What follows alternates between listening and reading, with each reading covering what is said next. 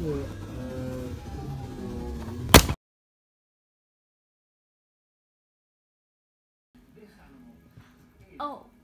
How is no, surely when you're at the top, you're to have power!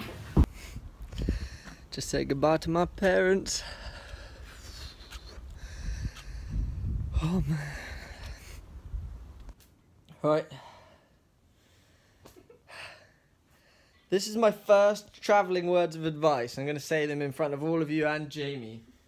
Give yourself like 12 or 13 more days than you think you need to get ready. Because I have been doing crazy running around for the last two days now. And I've just finished, and I think I'm ready to go. And I have to leave the house in about 45 seconds. So, in that time, I'm going to be officially homeless for the first time um, since I was born. Fuck, man. what am I doing? But at least I'm leaving this shit behind. Look at that. Anyway, I gotta get to the airport. Don't even know if I can get on the plane because I haven't checked in. so I'm at the train station. Jay's just dropped me off, and that's the uh, that's the last familiar face I'm gonna see for probably six to eight weeks until uh, Kirsten and Daniel come out to Font, unless I bump into Tom Dale. I'm so excited, but fuck. I'm so, so scared right now.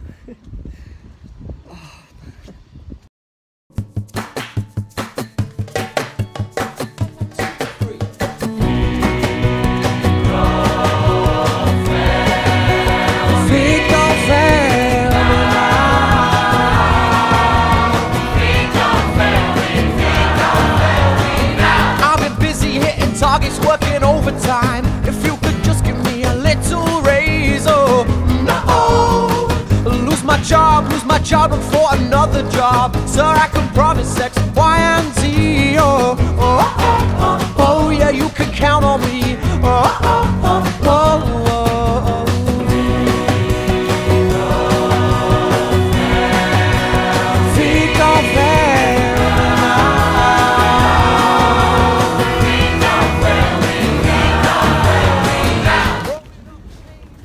So, just arrived in Paris.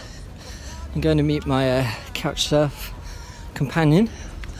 Um, I've been using the metro, which works so much easier than the London one.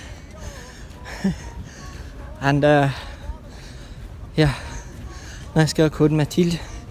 She uh, she helped me find the right train when I got off the plane, uh, in exchange for skipping the queue. Uh, yeah, that was really really kind of her.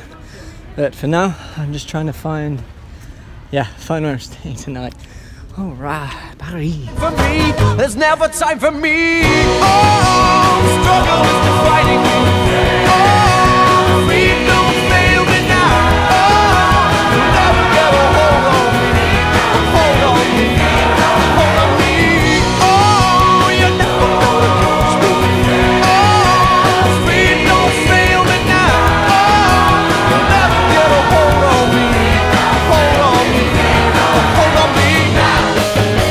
So I, I just got really, really lucky. I was uh, walked about 5k um, from Fontainebleau towards uh, a campsite that Connie recommended to me called La Musardière. I managed to uh, hitchhike, which was awesome. It was a uh, off-duty policeman, and he, uh, yeah, he helped me find uh, find the campsite, and he dropped me off. Tried to pay him and he said no. He's a really nice man. He works in Milly, which is a small town just away from uh, a little way from where I, uh, I'm camping. Ah, now I'm just trying to find somewhere to put up my hammock.